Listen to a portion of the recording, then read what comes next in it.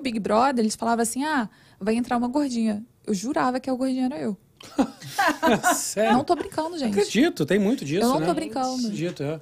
Quando eles me chamaram pro paparazzo, eu falava, mas ah, é porque vocês querem chamar gordinho pro paparazzo, né? Você tinha isso mesmo? Teve esse momento? Até quando eu posei pra sexo, quando eu posei pra sexo, mas por que que você não. Eu não me acho bonita. Tipo assim, por que que você não posando pra sexo? Entendi. Então, tipo assim, eu, eu sempre me achei gorda. E eu- vocês viram aí o vídeo, não era gorda, né? Não, de nenhum. Né, Nada. É. nenhum. E aí. E aí, eu fui, eu fui ver isso, sei lá, 15 anos depois. Entendi. Entendeu? Então, assim. E aí eu fui querer saber por que, que eu tenho isso? Por que, que eu tenho esse, esse distúrbio de imagem? E quantas mais tem? Porque, cara, todas as minhas amigas. Cara, magra não é elogio. Você vira pra mulher, nossa, tá magra, hein? Amor, magra não é elogio. Magra é, É. estado. É, E cada vez mais que você falar com a pessoa que a pessoa tá magra, mais que ela vai querer ser. Lembra ela quer ser reconhecida? Sim. uhum. E aí ela sempre vai buscar a magreza, seja ela qual for.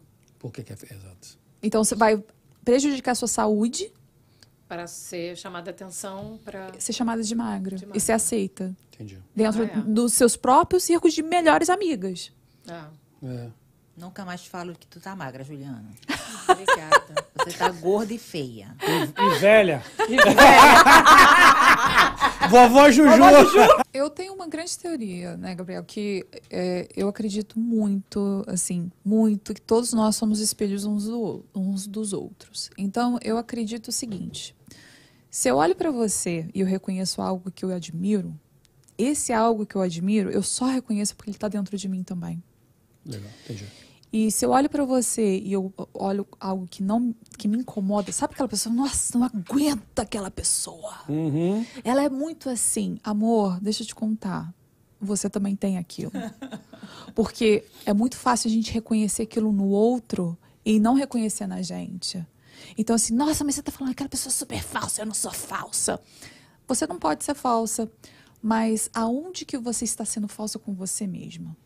Uhum. né? Então, tipo assim, você, reconhece aquilo na outra pessoa porque é muito fácil, é o espelho que tá ali na sua frente. E é algo que talvez você precisa reconhecer dentro de você, só que você não deu espaço ainda. É sempre sobre a gente, nunca é sobre o outro. Bacana nunca. demais isso.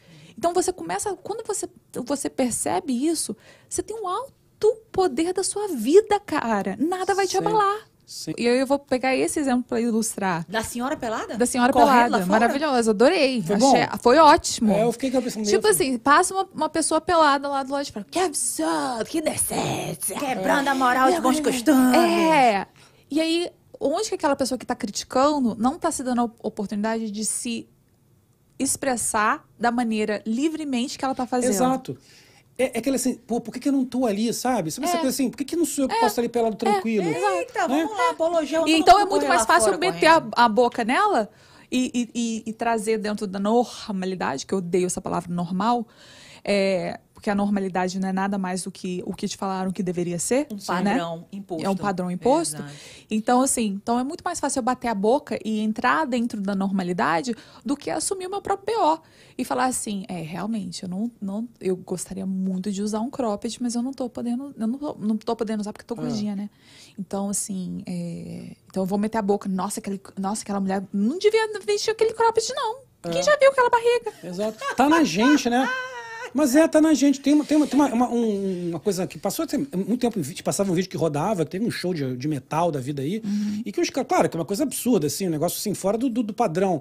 No meio do show de metal rolando, o couro comendo a plateia, entra um casal e começa a transar no palco.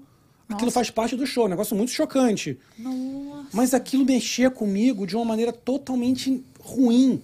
Não era, eu não sentia nenhum tipo de excitação, eu não sentia nenhum tipo de achabaneira, aquele casal transando. Eu achava um negócio tão. tão aquilo era tão ruim pra mim que causava uma, uma sensação ruim. De falar, gente, o cara tá transando na frente de todo mundo. E eu comecei a entender por que, que isso me faz tão mal ver esse casal transando na frente ali de todo mundo. Por que, que isso é uma coisa que me fazia? Aí eu comecei a entender dentro de mim algumas limitações minhas e, alguma, e algumas coisas minhas, sabe, internas. Daí eu falar, cara, que eu acho que eu sou um cara, uma pessoa muito fechada. Sim. Entendeu? Eu Quais com- são as suas crenças em relação ao sexo? Exatamente. Quais são as suas crenças em relação a se relacionar com uma outra pessoa? É a expectativa que você cria no, na troca. Isso. Então você conhece uma pessoa, uma amiga, um marido, mulher, eh, né, esposa, um sócio, enfim, todo mundo. Você cria uma expectativa que aquela pessoa tem que fazer, às vezes, a mesma coisa que você faz. Eu me dou muito. Por que, que ela não se dá? Por quê? Por que, que ela não me dá a mesma coisa que eu dou? Então, no momento que você fala, cara, essa pessoa não é igual a você, ela não tem que fazer igual a você, ela não vai ser, ela é chata, é, são pessoas que te irritam, ela não é igual a você, ela não vai ligar calma. Eu não sou, como eu falei, eu não sou uma pessoa calma, eu já ligo gritando, ele já entende que eu tô. Ele fala calma, É ele só fala assim, calma, vai resolver. É, é contigo, Eu né, falo, Laura? eu sou o diabo eu anjo. Você- você Mas não é é, a gente é sócio, então assim, tem, Sim. é um balanço. Uma das nossas questões é, é aceitar o outro como o outro é, né? A partir do momento, e a gente faz isso muito inconsciente, então, tipo assim, o que eu vou trazer aqui é, é uma parada tão inconsciente, tão inconsciente, que talvez a primeiro momento, é, qualquer um que estiver escutando isso é rejeitar. Mas quando a gente tá num relacionamento, e aí eu falo pra você, Ju, aí eu, cara, seu aniversário, eu vou mandar flores, e aí eu vou te ligar, e aí eu vou fazer e acontecer, porque a minha linguagem do amor é essa. E aí eu tô fazendo isso porque a gente trata o outro como a gente gostaria de ser tratado, Sim. né? Porém, isso é uma forma de manipulação. Isso é uma forma de você. Aí vem a expectativa, né? Tipo assim, você coloca expectativa no outro, você faz. Isso acontece com relacionamento amoroso, demais da conta. É o que mais acontece em relacionamento amoroso. Você tá conhecendo lá, você tá, você tá saindo com a pessoa, aí você vai faz tudo pra pessoa, né? Quando vem a vez dele, digamos do aniversário, quando vem, você faz aniversário, você faz uma, uma surpresa. meia, Exato. né? É mais ou Entendeu? menos isso. Então, tipo assim, talvez a linguagem do amor daquela pessoa não é dar o presente. Talvez a linguagem do amor daquela pessoa é te falar, é a é afeição, etc e tal. Só que aí você fica super decepcionado. E você gostaria que aquela pessoa fizesse. Aí acontece muito com a mulher. E muita cliente, eu, eu falo isso muito com cliente minha. Tipo assim, ai, mas eu, poxa, eu cheguei em casa, arrumei a casa, cozinhei, né?